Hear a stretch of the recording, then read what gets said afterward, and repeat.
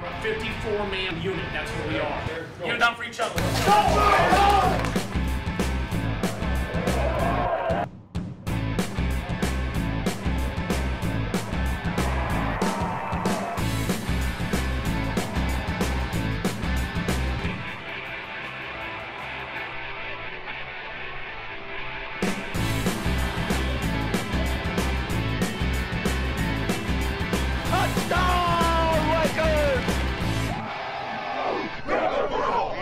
Hi, everybody, and welcome into another season of GVSU Football Weekly.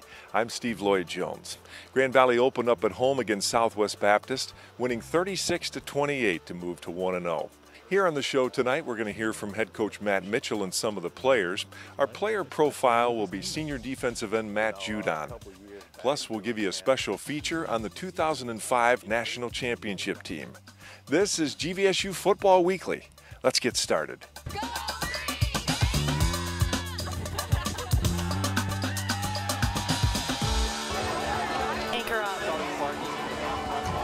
Okay, there's no greater feeling than this is all we got. We all we got. There's no greater feeling than celebrating a win in your home locker room.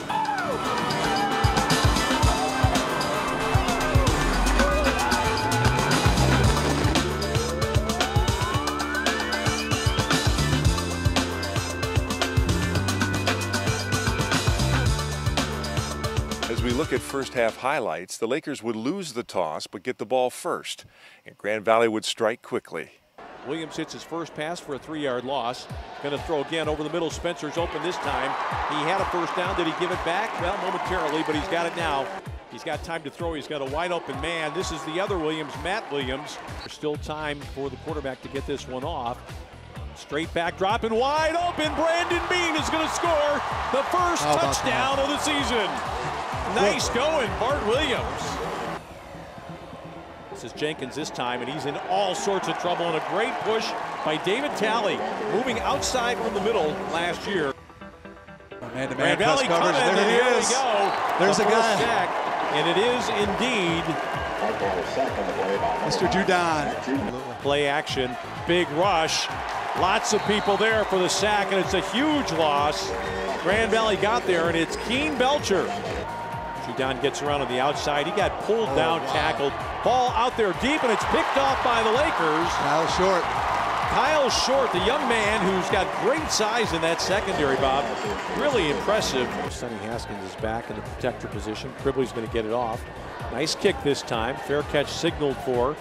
Oh, it dropped, and Grand Valley's got it. That's a muff.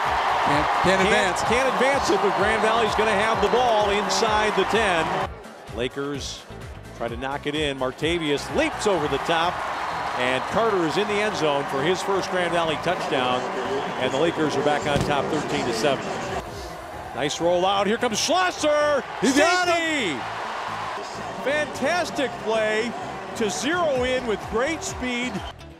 Carter stays in there with Williams. I thought Grand Valley might have pulled out too quickly. Ball down the field. Defender hand checking. That catch is made.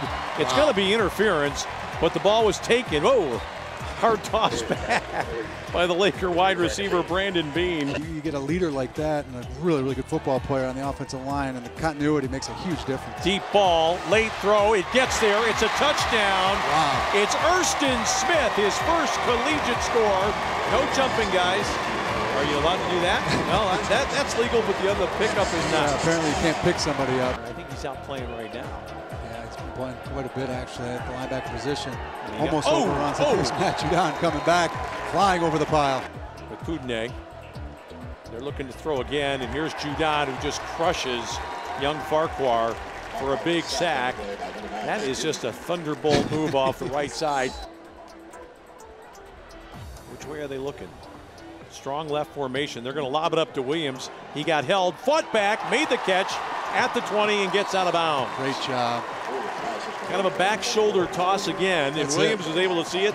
Defender did not get his head turned. Put him right down the middle. Let's see if they're going to look for him. Now they're looking the other way. Matt Williams is out there. Touchdown, Lakers. Great play by Matt. Good throw again. And Grand Valley has upped the ante. It's 29 to 3, and Bart Williams having a real coming out party. Goal Shouldn't be a problem.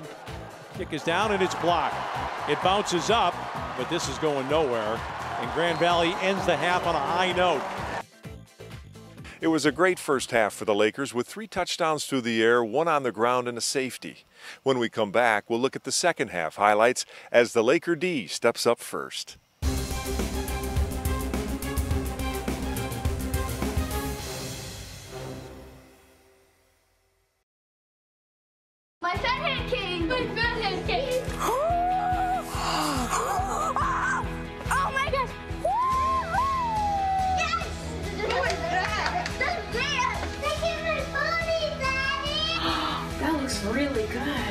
Good. That look good? This is my fat head.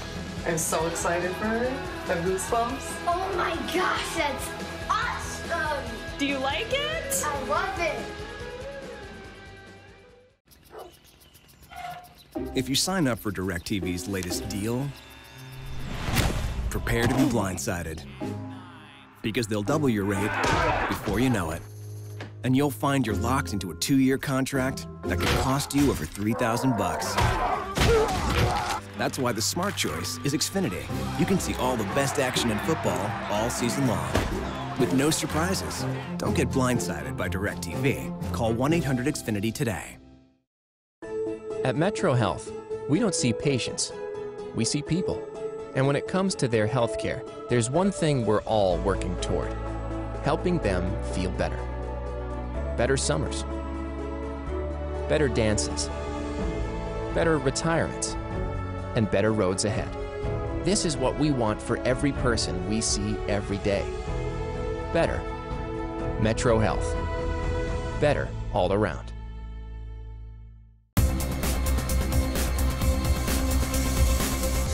Welcome back. I'm Steve Lloyd Jones. As we go to the second half highlights, the Lakers are ahead 29 to 7. Grand Valley's defense opens up the second half with a three and out, and Matt Williams with a big punt return down to the 29 of Southwest Baptist. 10 guys uptight, but they're dropping a little bit. Kind of a pooch kick. Williams going to take it on the fly at the 48. Can he step through? He does. Now he's got some room. They've got contained on the outside. Oh, and he runs right past him. Matt Williams still on his feet, down inside the 30. Valley is going to throw it here, and that's a beautiful catch and run.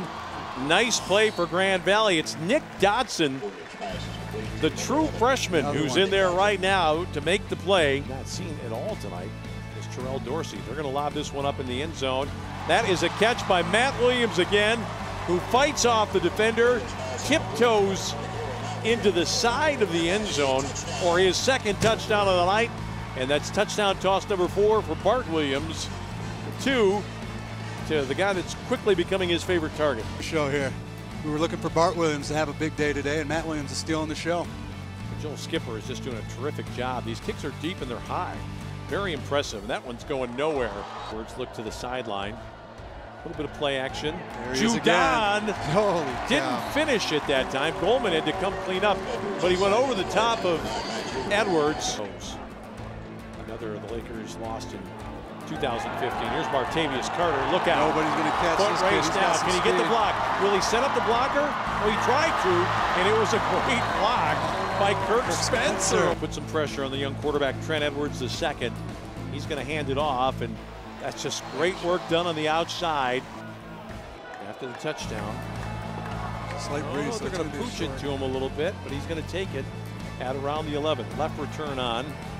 Look out, Look look out, look Look out, look out. Come on, McKissick. Almost got there. Seven in the box. They're coming to put pressure on.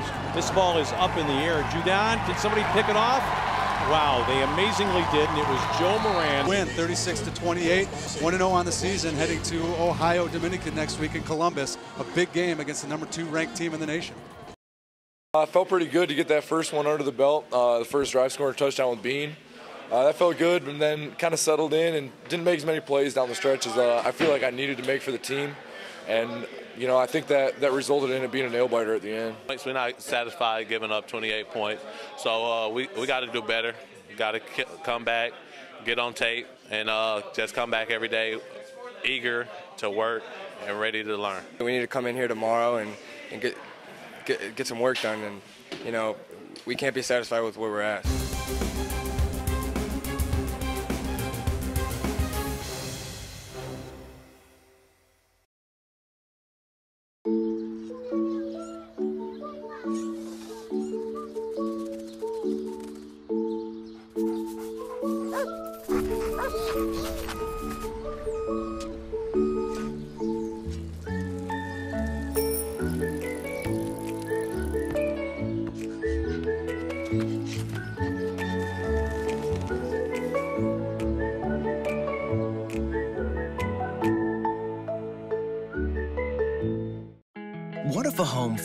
Also be a smartphone? And what if that home phone could save you money on your home and wireless bill at the same time? With Xfinity Voice, you get amazing technology like readable voicemail on your smartphone, caller ID on your TV, and even text messaging, all for a low price. Start saving with unlimited nationwide talk and text and switch to Xfinity Voice for just $19.99 a month for 12 months. Call 1 800 Xfinity today. Almost done. Now you can pay your bill, manage your appointments, and check your connection status. Anytime, anywhere. Oh, so you're protesting? Okay. Introducing Xfinity My Account, available on any device.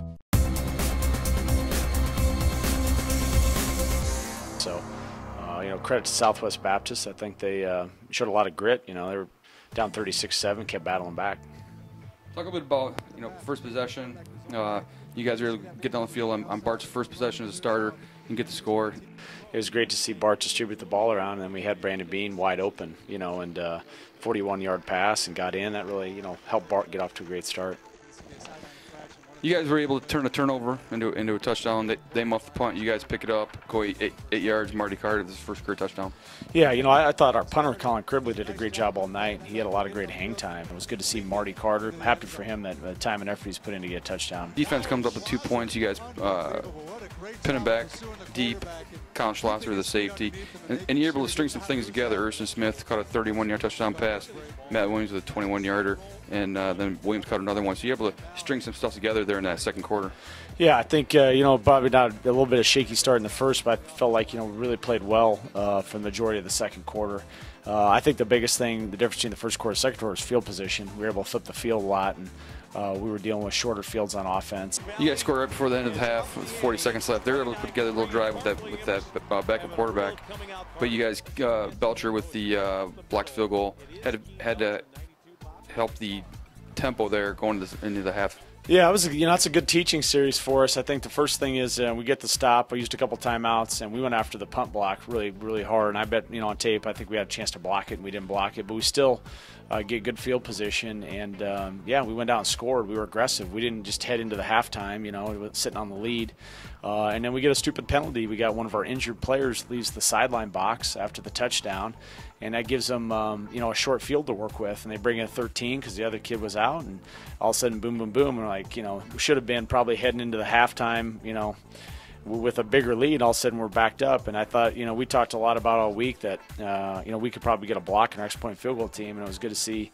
you know, Keon Belcher, who hasn't played a whole lot, come up. That was a big, you know, big momentum shift so they can get three points. And really at the end of the game, um, had we not blocked that, they would have been up by six. I mean, we would have been up by six, not nine. They've been for the win, you know, at that point in time. So um, that was a huge play by Belcher to get that block before halftime. They put together uh, some offensive momentum there in the uh, uh, late in the third and the, through the fourth quarter.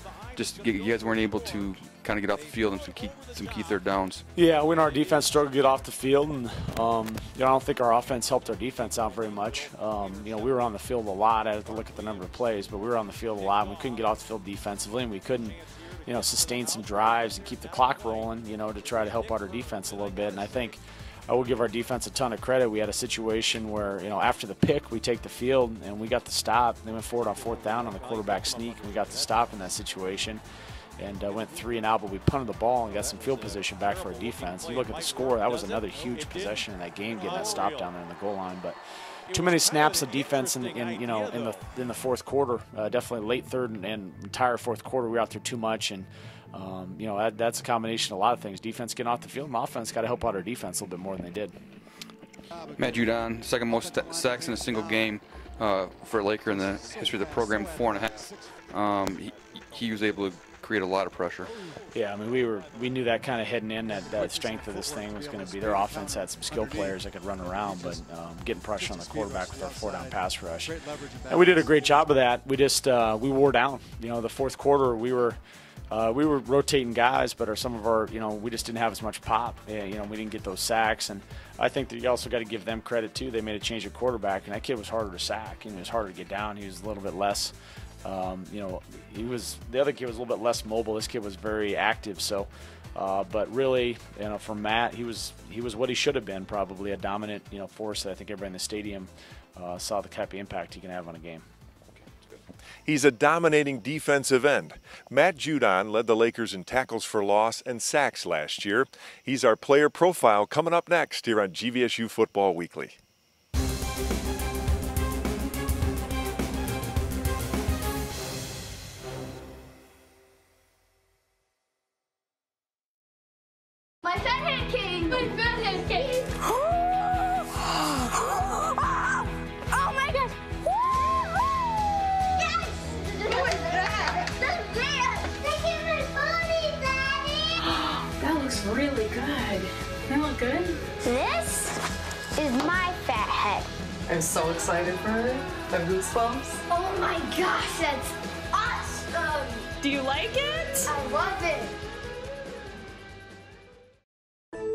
Metro Health, we don't see patients, we see people. And when it comes to their health care, there's one thing we're all working toward helping them feel better. Better summers, better dances, better retirements, and better roads ahead. This is what we want for every person we see every day. Better. Metro Health. Better all around. You learn something every single day at Grand Valley State University about who you are and who you can become, about where you've been and where you're going, about your goals and how to accomplish them. At the end of the day, you know what you want from life. Find it within yourself. Find it within Grand Valley State University. Okay, we are happy that we got the win and that we are 1 0, okay, where we want to be. But everybody in here realizes that we're not where we need to be. Okay, so you know, if you come in here tomorrow fat and happy and confident about things, that's the wrong approach. I'm telling you right now. Okay, it's going to be tell the truth Friday. We're going to tell the guys did a great job, great job. Mistakes we made, we got to get cleaned up, man. We got to go. And welcome back. Senior defensive end Matt Judon has been a leader of this defense, but has now become a great leader on the team. Let's learn more about this senior from West Bloomfield Hills. I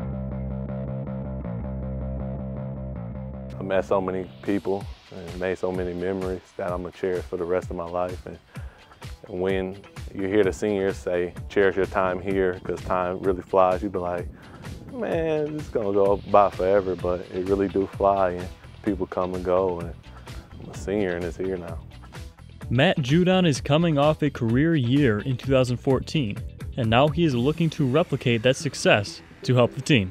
I can't play last year again, and I'm not gonna get the same blocks as I did last year, and I'm not gonna see the same players as I, I did uh, do last year. But it was fun. I got to play with uh, some of my good friends, Isaiah Dunning, Frank Bawinski, Matthew Mosley, was all on the D line out there with me, and I just knew they had my back. So I played within the scheme of our defense, and our defense set me up for a lot of success. Judon also enjoys the fun in life, especially with his teammates. You know, a couple years back during camp, the like the whole team was in there and we was beating on the lockers and we got a we got a team song. There's a video somewhere, but I can't find it right now. But it's a team song and everybody everybody from the freshmen to the seniors like all had a verse. It was it was it was really fun. As a natural leader, Judon makes sure to set the tone for the defense and underclassmen. I just come out here with a purpose and a, a will to get after it. And as being a leader, I think some of the younger guys see that in me and then they just start uh, following. The relationships that Judon has built on this team are very important to him. I built great relationships with our coaching staff and, you know, all the technology, Snapchatting back and forth and, you know, texting back and forth. Uh, you, I don't think I'll be able to create, you can't create that band of brothers like you can in a workforce because when you go home, you don't really care about what the next person next to you doing in a in a desk job. Like you don't you don't care, but uh, when I'm here, I care about if that person is safe because we have the same the same goal and we want to win the next Saturday. And uh, I don't think you can create that outside of uh, what we have here.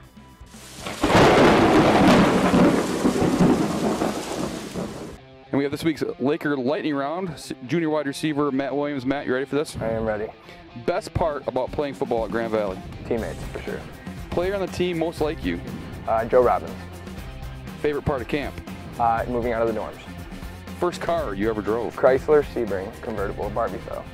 Do you have a celebrity crush? And if so, who is it? Carrie Underwood, without a doubt. Best dancer on the team? Me. Favorite movie? Uh, Boys in the Hood. Best singer on the team? Uh, probably have to give that one to uh, Brandon Bean. Favorite breakfast meal? Eggs. Do you get up early or sleep in? I get up early. Favorite thing to do outside of football? Play baseball. Best nickname on the team? Uh, J Rob, also known as Joe Robin. One thing you always hear from Coach Mitchell during camp? Stinks. Stinks. Best comedian on the team? Matt Judon. The funniest thing that happened during fall camp? Uh, the pictures that Coach Mitch posted before the special teams meetings. Hardest hitter on the team? Uh, Joe Moran. Favorite TV show? Oh, uh, ESPN 30 for 30. Best dresser on the team? Uh, Joe Robbins again. Worst dresser on the team? Kirk Spencer. Favorite food? Lasagna. Best moment at Grand Valley State? Um, don't have a particular one, but just coming to come to work every day with my brothers and teammates. And that's Matt Williams with with this week's Laker Lightning Round. It was the third of the four national championships for Grand Valley, the 2005 national title team. We'll take a closer look at this group next as GVSU Football Weekly rolls on after this.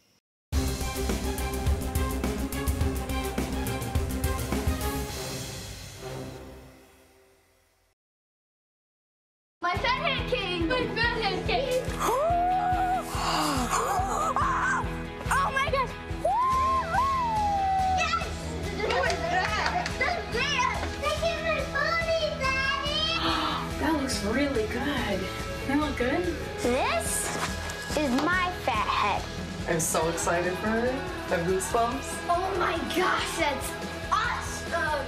Do you like it? I love it! How's it going? Nice to meet you guys. I have these two laptops. We're gonna each download a TV show. I'm gonna download it on Xfinity, and you guys are gonna download it with AT&T Uverse, and we're gonna see who goes faster. Go. Well, this is a no-brainer so far. How's AT&T doing? Struggling. I'm ready to go. We'll wait for you guys. Looks like we're gonna be waiting for a while. Don't let Uverse slow you down. Upgrade to an Xfinity X1 Triple Play from Comcast and save when you bundle. See for yourself. Call 1-800-XFINITY or visit Comcast.com today. At Metro Health, we don't see patients, we see people.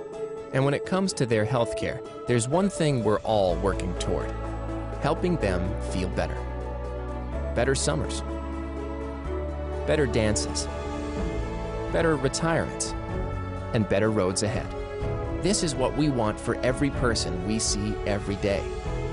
Better. Metro Health. Better all around.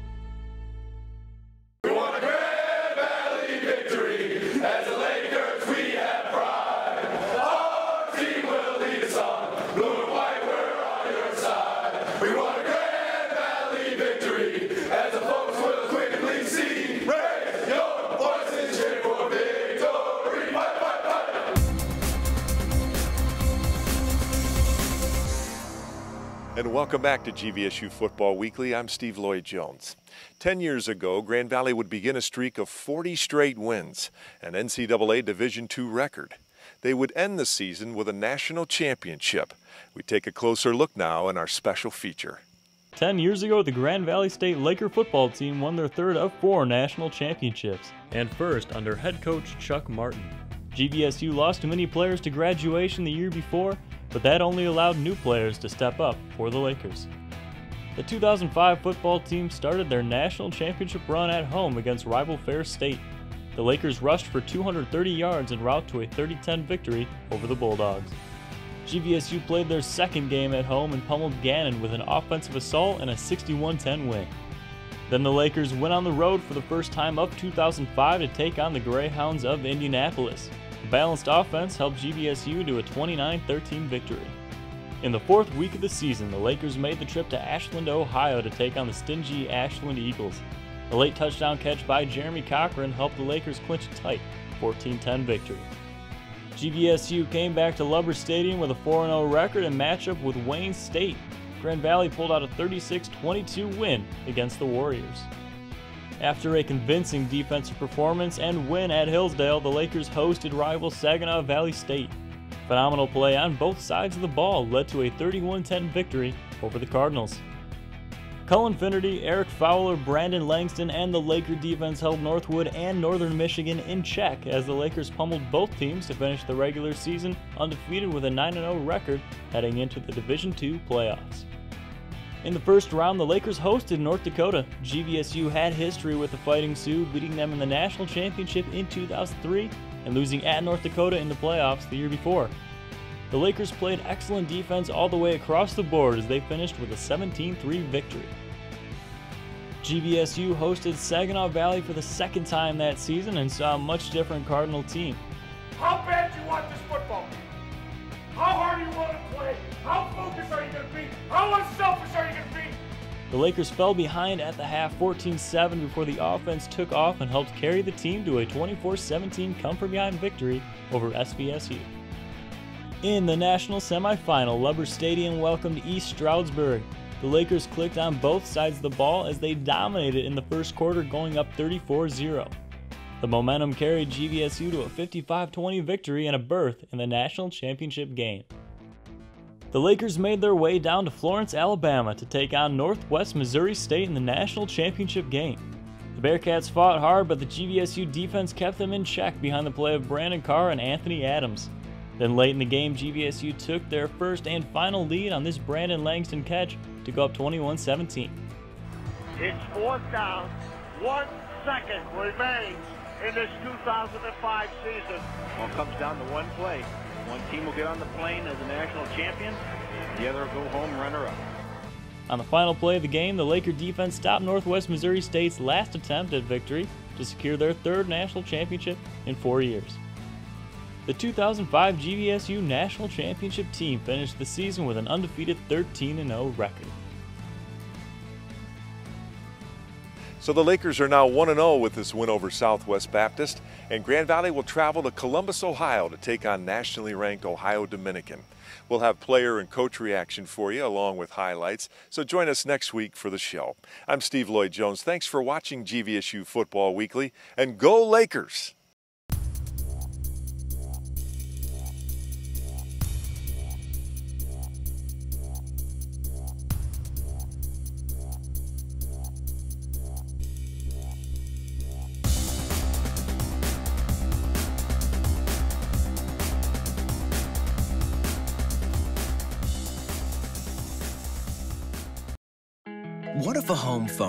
Also be a smartphone? And what if that home phone could save you money on your home and wireless bill at the same time? With Xfinity Voice, you get amazing technology like readable voicemail on your smartphone, caller ID on your TV, and even text messaging, all for a low price. Start saving with unlimited nationwide talk and text and switch to Xfinity Voice for just $19.99 a month for 12 months. Call 1-800-XFINITY today. Almost done. Now you can pay your bill, manage your appointments, and check your connection status. Anytime, anywhere. Oh, so you're protesting? Okay. Introducing Xfinity My Account, available on any device.